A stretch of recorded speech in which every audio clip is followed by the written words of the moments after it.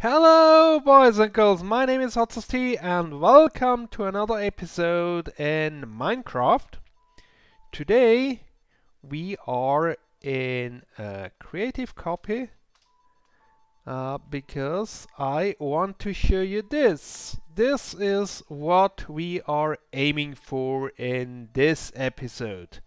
The final bit of decoration for the uh, ravine and it's a wonderful waterfall decorated with uh, glass foam. And uh, I had this idea for a while so uh, I searched uh, if uh, anyone had uh, done this before. And I think I found some image or some YouTube videos but for the life of me I cannot find them again. And then basically just a few weeks ago uh, uh, did something uh, very similar uh, to, to this uh, on the uh, Hermitcraft server. So uh, that's basically the, the template that I, I used to go from there but uh, this episode will be more like uh, a tutorial style um, uh, where I uh, walk through the uh, different steps uh, to to build this this up. So, without further ado, let's get into it. The first thing you want to do is create a trench at the bottom so that any water that flows from above will just hit the trench and not spill all over the floor. It makes life pretty much easier. The second thing you should consider is cleaning up the wall because the water that's falling down is partially transparent, any block behind the water will shine through. And if you have a mix of color there, this looks uh, uh, really weird. So uh, what I suggest you go for is a mix of gray, which basically means uh, uh, stone and andesite. You can also mix uh, a bit of uh, cobble in there. Um, what I did here is uh, basically uh, uh, just remove all the colorful blocks like diorite, granite, sand, sandstone with stone and I left in the andesite. And then we can start building up the uh, bottom layer of the foam. Um, from here on out, it's it's more like uh, a creative process uh, and and less like a block by by block uh, tutorial.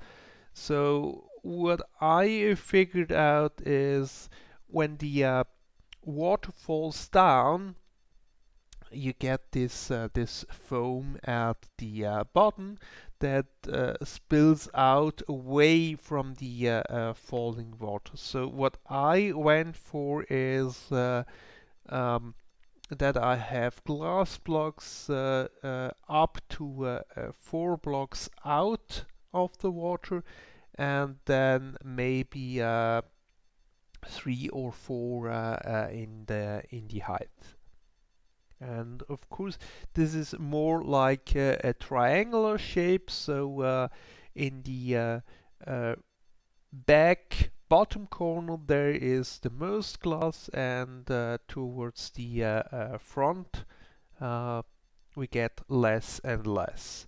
And there are also gaps between the blocks because with these gaps you get the the edges that uh, just add a bit of, uh, of detail. And then on top of this uh, uh lower level of foam, uh, you pla basically place a few selected blocks of, uh, of falling foam and these are one or two blocks above the basically solid glass foam you built at the uh, bottom. Uh, for glass wise I used white glass quite obviously and light gray glass to give it a bit of, uh, of contrast uh, I think this this works well and then of course uh, when we are coming to the details um, I also use uh, the glass pane variants now we are almost finished at the bottom uh, we just want to add a few more details and we do that with the paints. So you want to try uh, to have something between the front and the uh, the back wall for the uh, uh, lowest three layers. So you don't directly three see through the uh, uh, foam uh, onto the the rock wall. And with the glass panes try to to play around a bit um, so that you basically you're using the glass panes to add more details and all these uh, interconnecting lines that you see through the glass uh, just just add to that.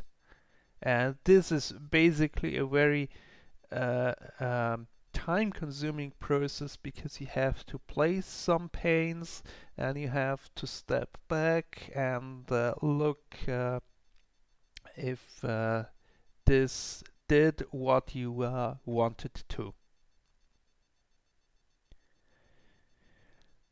Then we come to the more uh, difficult part, at least in survival, it's basically the top foam.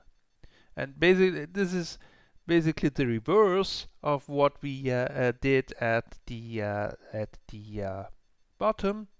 Uh, so in survival I would suggest that you create a, a dirt platform um, a few blocks uh, below the edge from where you can work on easily because uh, uh, as you place blocks and remove blocks again they will fall down and uh, you can then collect them easily. So to start off basically place uh, a row of white glass blocks uh, away from the uh, from the wall one block away so that in this one block gap the water would would then fall down. And don't go higher than the water because in in real life if you have a look at waterfalls the the water flows over the edge and only then the the foam starts usually it's it's you have a lot more foam at the bottom than at the top but of course this also depends a bit on the uh, on the kind of waterfall. Um, and then you basically do the reverse process. You want to go down maybe four blocks and out uh, three blocks and then also once again have this uh, this uh, triangular shape and try to uh, to have uh, uh, holes in your in your structure and also um, uh, break up the topmost line so that it is not a, a solid glass block line and then again it's time for the panes to add a bit more details and here I also uh, placed some single planes, uh, single panes, uh, one block uh, with a one block gap above the uh, top glass block. so to to basically indicate the water sprinkles that happen there. And then of course also use the, the, the panes uh, between the blocks to uh, fill in the gaps and add more details uh, same process as uh, at the uh, bottom end uh, at the bottom end. And the final thing is the glass pane streaks uh, that basically give uh, the, the water a bit more uh, dynamic uh, when falling down. Um, these are basically two parts at the uh, at the uh, bottom it's it's like the the foam from the top is is thinning out and towards the bottom it's uh, getting uh, more and more foam. So uh, what you see here is basically at the top it's uh, solid glass panes um, two or three in in height and at the bottom it's basically uh, the, the, the, same thing uh, but it's it's broken up. So and and this gives like uh, a, a, bit of uh, a hint at the uh, animation. And I think this really works out well. So this this is actually a trick that I learned from from uh, Bdubs which by the way is a fantastic builder and you can learn a lot from him um, but I think this does it from the tutorial.